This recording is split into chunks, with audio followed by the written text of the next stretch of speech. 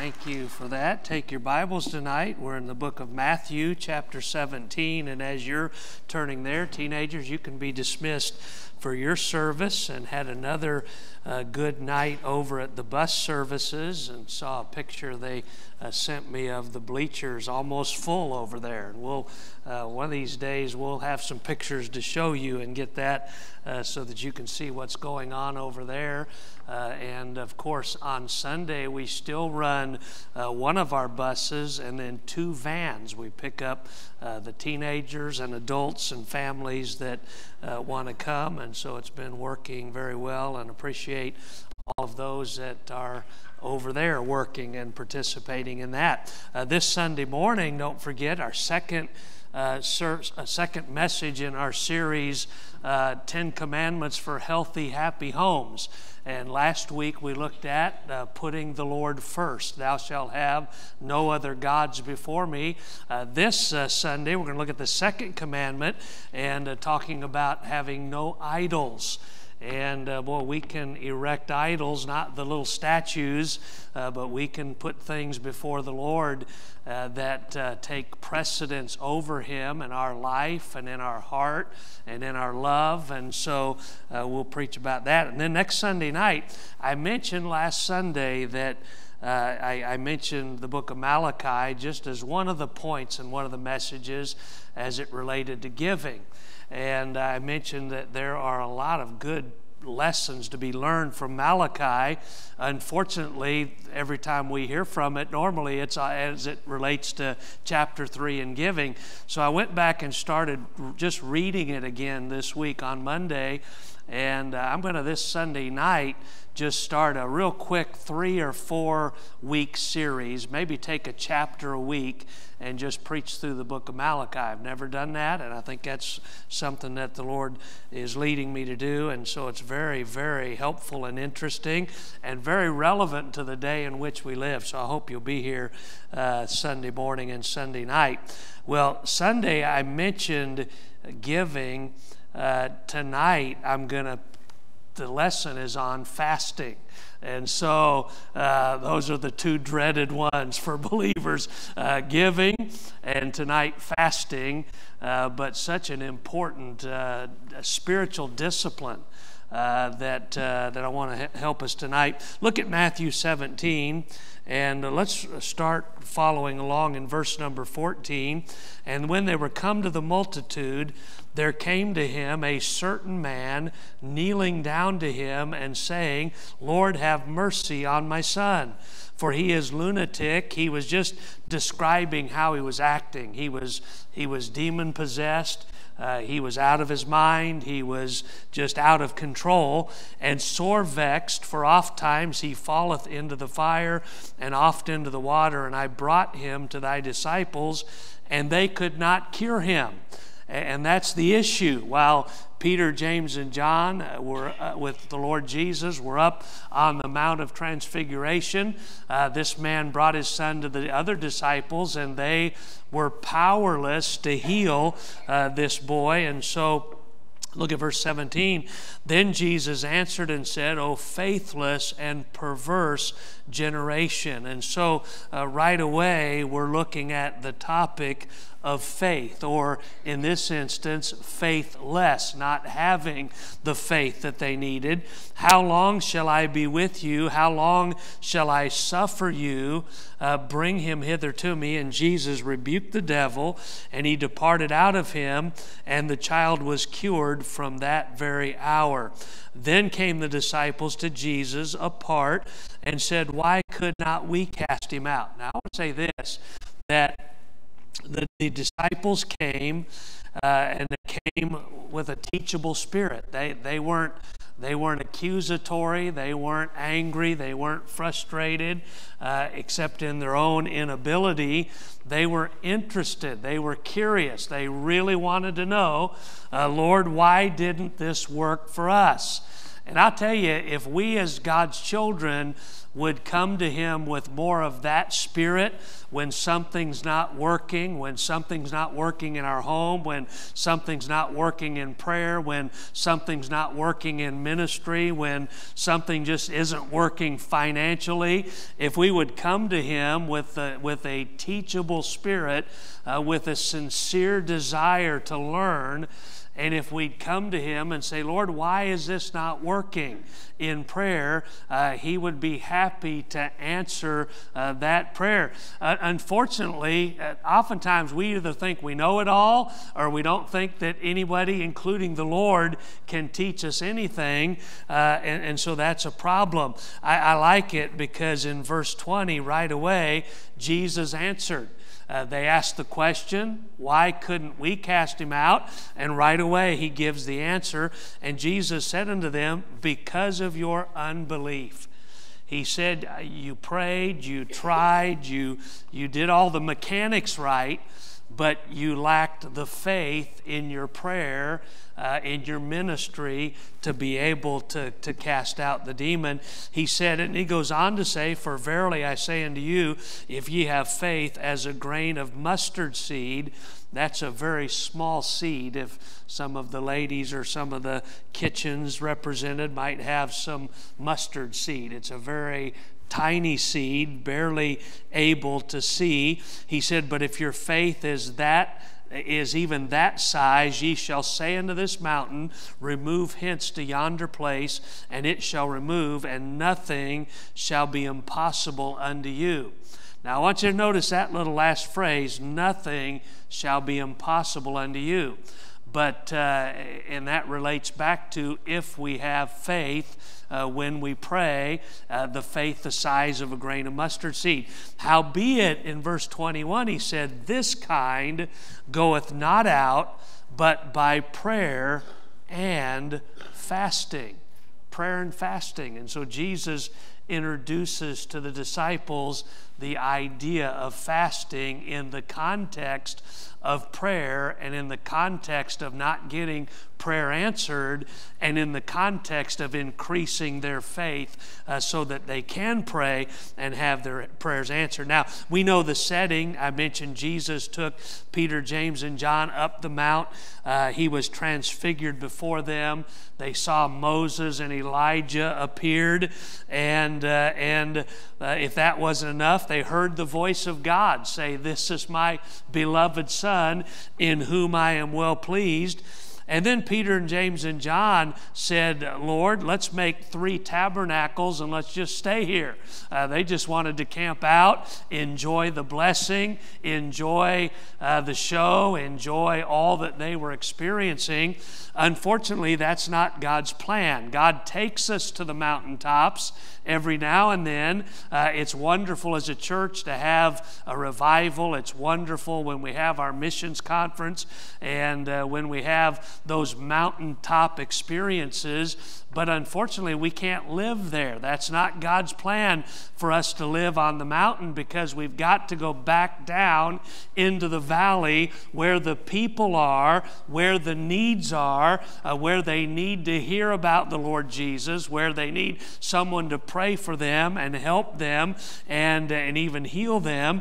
And so uh, Jesus uh, made sure that they went down uh, back into the valley. And, uh, and we'll look at that here in just a moment. Let's pray, and then we'll get into the message and the lesson uh, for tonight here from Matthew chapter 17 about uh, faith uh, and prayer and fasting tonight. Father, help us as we look at and study from Scripture something that is absolutely important. It's important as much in our day as it was here in this day in our passage in your Word. And Lord, yet it's something that we don't do. It's something that we uh, don't participate in. It's something that we neglect. And yet, Lord, it just uh, simply could be the one thing that's lacking, the, the one difference maker in our prayer life. And so, Lord, help us tonight. Challenge us tonight. As we go through the passages in Scripture, would your Holy Spirit uh, speak to our heart? Would you impress upon us? Our need uh, to pray. And, and Lord, uh, maybe that, that specific thing for which we should set aside some time to fast. And Lord, uh, convict us, help us in every way. In Jesus' name, amen. Amen. While Jesus was up on the mountain, his disciples could not heal uh, this man's son. Uh, this man's son was possessed of a demon. He would often throw himself in the fire and throw himself in the water. By the way, uh, de- demonic activity and, and demonic oppression and even demonic possession goes hand in hand with a desire to hurt oneself. It has a desire, uh, it, it, goes along with uh, preoccupation with death and very dark uh, subjects, but also with self mutilation and hurting oneself. And so we see that, and we saw that in the maniac of Gadara and other uh, places where uh, the Bible talks about folks being demon uh, possessed. And so that's what happened to this boy. And the disciples tried. They, they prayed. They tried to do what they'd seen Jesus do. They, they tried to cast out uh, the demon from this boy, uh, but they could not. They were powerless uh, because the Lord Jesus tells them here about their faith. But Jesus came down, saw the need, cast out the demon, and, uh, and when he did, the disciples asked him that question why couldn't we cast him out? And uh, I tell you, that's a good thing about the disciples. They weren't afraid to ask, and, and Jesus gave them uh, the answer. Jesus answered them very plainly in verse 20. He said, If you look there, because of your unbelief. He said, You couldn't get this done. You couldn't get this prayer answered because you didn't have enough faith. And then in verse 21, he goes on to expand in his lesson and, and he is teaching them how to increase their faith. He said, Howbeit this kind, uh, this, this difficult kind, goeth not out but by prayer and fasting. And so, if uh, he said there are certain things, certain harder cases, certain harder prayer requests, not, not that they're harder for the Lord, but they're things that the Lord wants you and I uh, to be a little more committed to, a little more uh, sacrifice involved. He said, This kind cometh forth by nothing but by prayer and fasting. And it could be that you have this kind of need.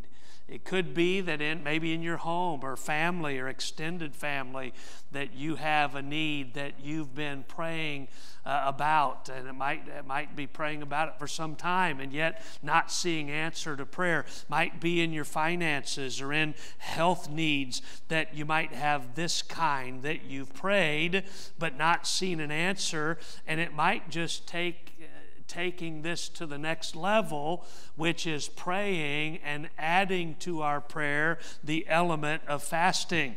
And I said earlier, this is a lost discipline in modern Christianity. The old timers used to call prayer, fasting, Bible reading, spiritual disciplines. And they called them spiritual disciplines because they're not always easy. Uh, the flesh doesn't always cooperate. Uh, there, there always seems to be something uh, more enjoyable to the flesh to do that we get preoccupied with. Uh, but, but the Lord said, here's a discipline that I want you to be involved in. You know, we're losing our desire to do the things in Christianity that don't come easy. I mean, we just live in an easy day. We live in a soft day. We live in a day where if it doesn't come easy, we lose interest and we go on to something else that we think is easier. Our children are learning that. Uh, they're learning, they're not learning uh, the, the discipline of sticking with something. And, and, when it's not easy, just persevering and, and figuring out and learning and growing. They're, they're just uh, following right along in our footsteps if it doesn't come easy. Uh, and, and as parents, we don't really insist that they stick with things because uh, we don't want to make things too hard for them. And it's just a strange day in which we live.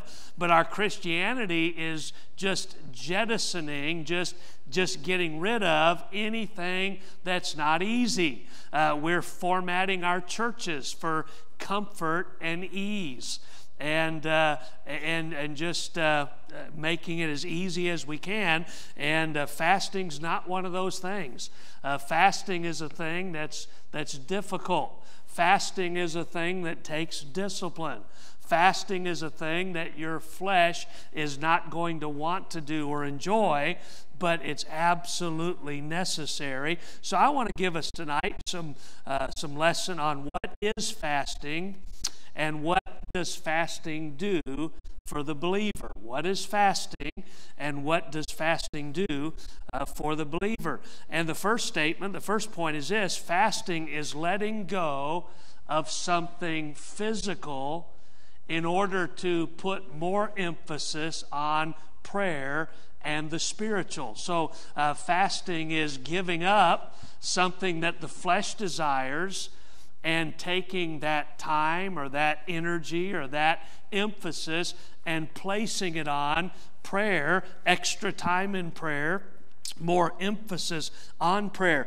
This flesh has a death grip on us. It just simply does. So often uh, we're at the mercy of the flesh.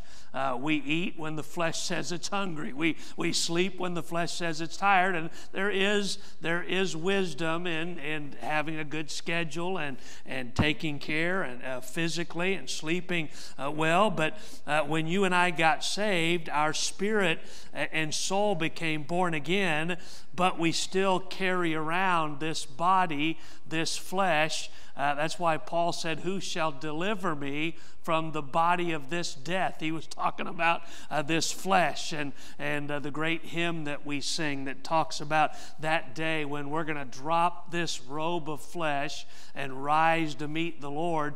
That's going to be a glorious day uh, when we're not restrained uh, by the flesh, we're not tempted by the flesh, we're not hindered by the flesh. And, uh, but the, our, our, our situation now is that this flesh controls the average believer.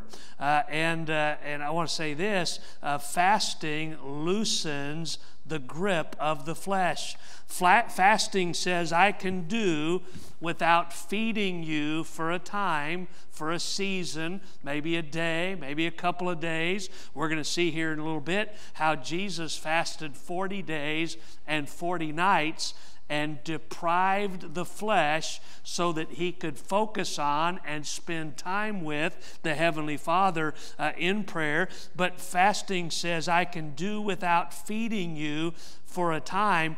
But the problem is, nobody wants to do anything without anything in our day. Uh, we live in a, a country where we don't have to do without much. And, and, unfortunately, this modern Christianity is teaching us that this convenience Christianity is teaching us that we shouldn't have to give up anything or we shouldn't have to do without anything. But that is absolutely contrary to what Jesus is teaching his disciples and us when it comes to fasting. Nobody wants to give anything up. But Jesus said, if you want this kind of answer, it will only come by prayer and fasting. Now, here's the idea of how it builds our faith and increases our faith. Because the flesh is everything faith isn't. Uh, faith is faith, you can't see faith. Uh, faith, you can't touch. The flesh is everything that, and that's why we get so prone uh, to, to not walk by faith. We want to see it. We want to know. We want to be able to touch it uh, before uh, we, we, we, we act or before we decide. Hebrews 11 1. The Bible says there, now faith is the substance of things hoped for. Faith is very real. Uh, faith is as real as this pulpit is real, but what we can't touch it like I can touch this pulpit. It's a substance of things hoped for, it's the evidence of things not seen. And, so uh, faith is not flesh. In fact, faith and flesh are contrary one to the other. Uh, what's not seen is faith and spiritual. What's seen is physical and flesh, and it's certainly not our flesh that needs strengthened. Uh, it's naturally strong. Uh, it naturally controls us. That's why when uh, Jesus took Peter, James, and John into the Garden of Gethsemane to pray uh, with him and, and ended up saying, What could you not watch with me? Uh, one hour. And uh, if you've ever tried to pray for one hour, uh, you know how the flesh just rebels. The flesh doesn't want to doesn't want to submit to that, doesn't want to do that, and, and, yet we have to understand that the flesh is very strong. Uh, the flesh is naturally strong.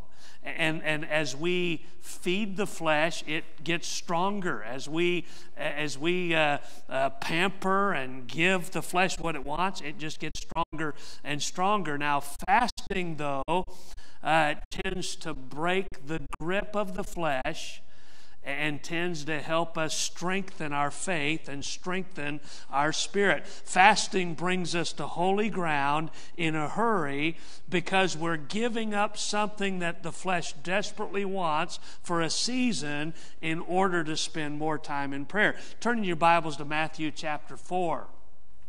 And let's look at this season. Jesus is about to begin his earthly ministry and uh, and fasting is a good thing. Boy, if you're about to launch out into a new venture, if God's calling you maybe into a new ministry, if if you're going to launch out in a new business venture or or a new venture as a family, uh, a good thing to do because Scripture gives us that example is to set aside some time, not just to pray, but to fast and pray. And look at what Jesus said in Matthew 4 2. And when he'd fasted 40 days and 40 nights, he was afterward and hungered.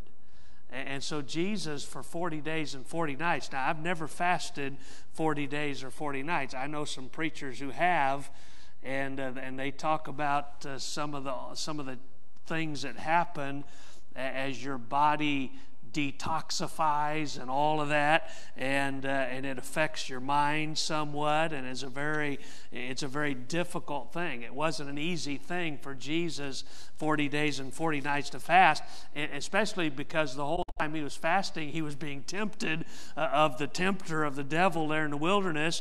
But uh, but fasting uh, was important to the Lord Jesus. He taught it. Uh, fasting was a common spiritual activity in the early church. Look in the, your Bibles at Acts chapter 13.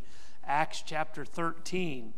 And uh, the church at Antioch fasted and prayed before sending Barnabas and Saul on their missionary journeys, Barnabas and Paul.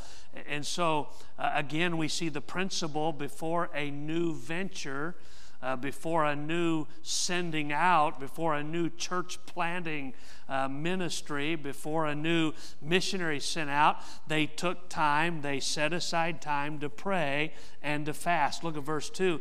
As they ministered to the Lord and fasted, the Holy Spirit said, uh, can I tell you, uh, I, I, think just by fasting and prayer, uh, when you're fasting, you'll hear maybe some things from the Lord that you wouldn't hear otherwise.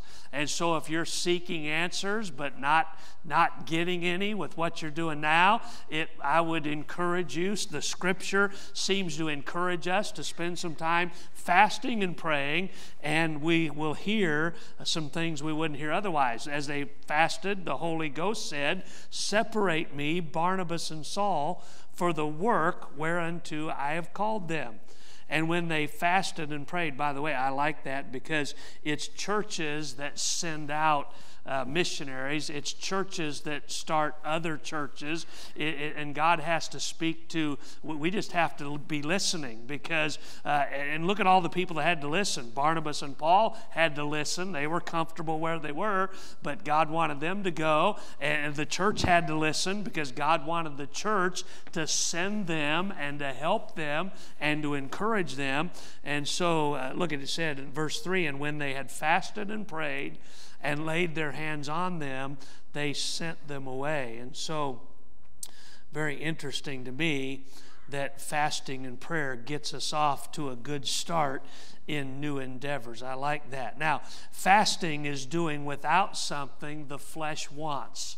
It's doing without. It's breaking that that uh, that need. It's replacing it with spiritual activity and prayer. So let's take food for instance. Now, food isn't the only thing that uh, you can give up when it comes to fasting, but it is the most common for us.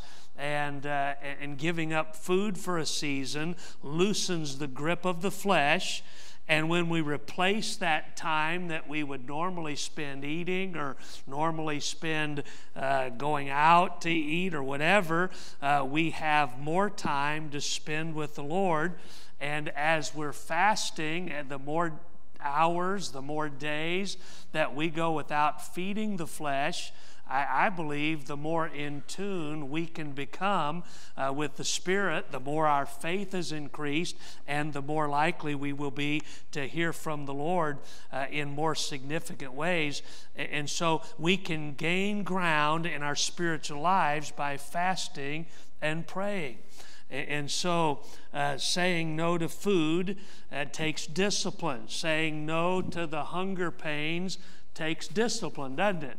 Uh, saying no to the body and the flesh and saying yes to God in prayer uh, is, something else. Uh, and look, look, well, I'll give you this. In our day, maybe we need a technology fast. Uh, where maybe TV, maybe, uh, maybe the internet, maybe social media has encroached into our life to the point that that's the things that are hindering us from spending the time we need to in prayer and God's Word. And so, maybe a time, a season of fasting and doing without those things. And in our day, that's as much a physical denial as food is. It really is. I mean, some people are so addicted to video games that they don't eat. They go without, they go days without stopping to eat because they're so engrossed in the submersive world that they're living in online. And so that's as much a break from the physical, that's as much a denial of the flesh in a lot of cases as food is, and it can certainly have the same spiritual benefit and impact. Uh, other forms of digital entertainment, social media, uh, they certainly don't do anything to strengthen our spirit or increase our faith. Now, let me say this, Pastor, I understand that, that uh, social media, the internet, uh, we, we use it in ministry every day. Uh, it has some, it can be used for some good if we're intentional about it and if we're spiritual about it. But certainly, uh, it, it, it, uh, it, can, uh, it can be it can just overwhelm and take over and, uh, and can hinder our spiritual lives. I think uh, much more than the good from it, but, but I'm certainly not dismissing that there's opportunity uh, to, to make an impact ministry wise. I'm just saying that we don't use it that way in most cases, and uh, and we let let the flesh uh, get in, and we let the flesh get stronger, and our spiritual man is getting weaker the whole time. Uh, so maybe a day or two a week, uh, or a week fasting from all forms of digital stimulus could help us jumpstart our spiritual health and reset our priorities from being physically dominated uh, to being spiritually uh, focused and, and, and it can increase our faith. Uh, you know, I, I, like that idea. Fasting, I think, can really, can really break the hold that the flesh has. Uh, and I think whatever you're struggling with, if you're struggling with thought, and, and your thought life is not what it ought to be. It's not as pure and wholesome as it ought to be. Uh, maybe even to the extent of, of having struggles with pornography or other things. I think it's only that that's, that, that's the season that only fasting and prayer can kind of break that bond of the flesh and reset some spiritual health. And I think it can have that big of an impact that it will reset us spiritually. Uh, there are not just spiritual uh, benefits of fasting and prayer, but uh, science tells us there are physical benefits of fasting and certainly prayer. Uh, but I think fasting for a season resets our blood sugar levels, it resets our metabolism and can help uh, jumpstart and reset all that. I think fasting is just a shock to the physical system that helps jumpstart our spiritual health and increase our faith and helps us to have the answer to prayer that we want to have, uh, but, but, uh, but we have to do it. Now, uh, let me show you this. Look back at verse 20. Fasting increases our, our faith in what God can do. In verse 20, he went back and he said, uh, The reason that you couldn't cast out that demon from that boy is because of your unbelief. And he goes on to say, if you had faith as this little mustard seed, and then he goes right into talking about how fasting uh, can help that, and fasting can help our faith to grow. Uh, the disciples knew they needed some things, and so they asked the Lord, Teach us to pray. And there's another one where they asked the Lord to increase our faith. Luke 17 and verse 5. And the apostles said unto the Lord, Increase our faith.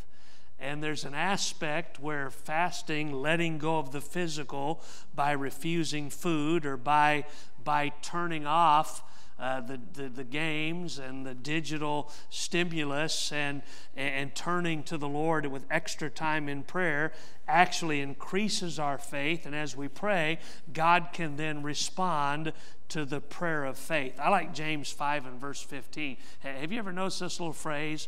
Uh, Jesus is the healer, and, uh, and He can certainly heal in our day and answer to prayer. In fact, uh, any health needs, He ought to be the first one we go to. And again, I'm, I'm all for uh, modern medicine as He leads and guides and helps and, and intervenes, but our faith all the way through needs to be in Him and His leading. But look what it said in verse 5, chapter 5, verse 15. It says there, and the prayer of faith shall save the sick, and the Lord shall raise him up. And if he have committed sins, they shall be forgiven him. Uh, did you ever notice that little three words, the prayer, or the four words, the prayer of faith? It's not just any prayer that brings healing from the Lord. It's not just any effort or any prayer that from the disciples that cast the demon out of that demon possessed boy. No, it's the prayer characterized by faith, energized by faith. And so often we don't have our prayers answered because we just we, we don't have that level of faith that we need. And I'm just saying tonight, if we would take some time and, and make fasting uh, a part of our spiritual health, or maybe uh, kind of just to reset some things in our spiritual life, it can be a huge difference maker in our prayer life. Fasting is not for show. In fact, ideally, no one will ever know that you're fasting. Now, certainly, you have to talk to your loved ones and so forth, but uh, fasting is deeply private. It's a deeply spiritual activity that we need uh, for this kind. In fact, look at Matthew 6 and verse 16. Matthew chapter 6 and verse 16.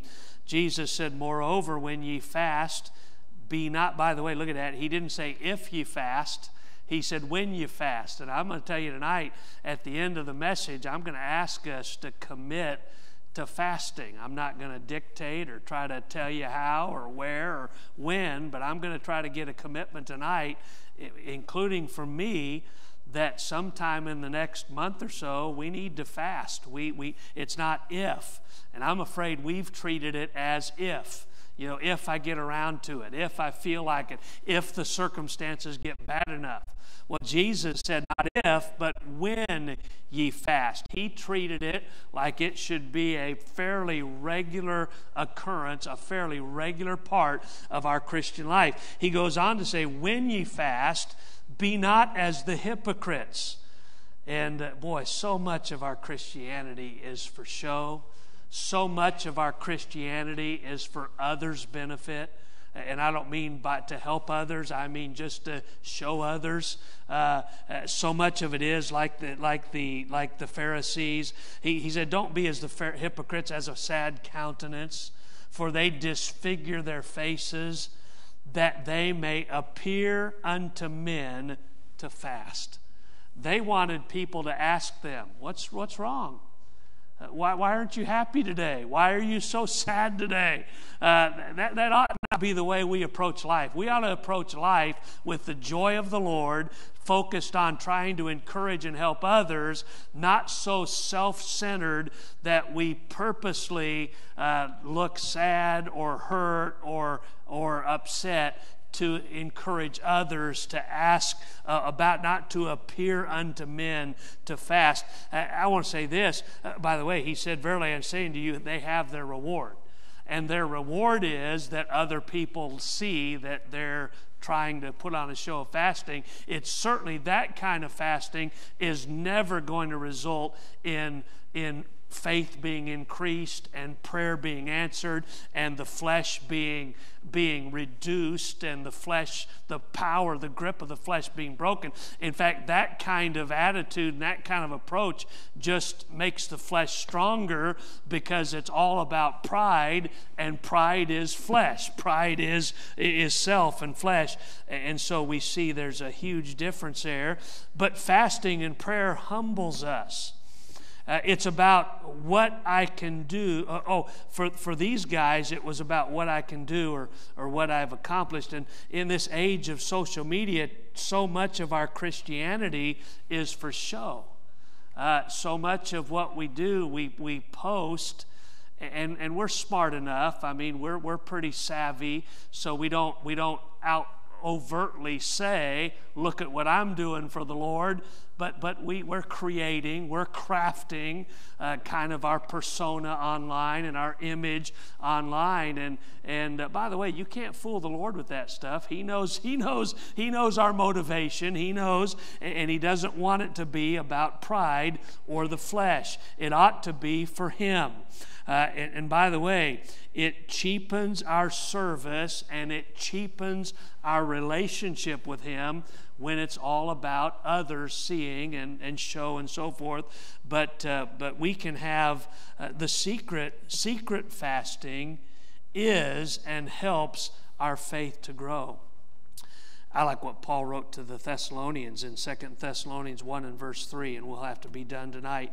He said, We are bound to thank God always for you, brethren, as it is meet, because that your faith grow, groweth exceedingly.